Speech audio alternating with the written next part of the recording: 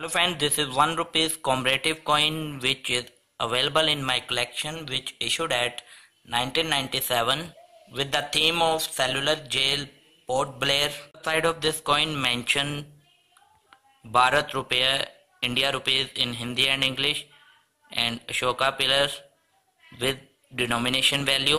Reverse side building of cellular jail and mention cellular jail Port Blair in Hindi and English with year 1997 with mint sign.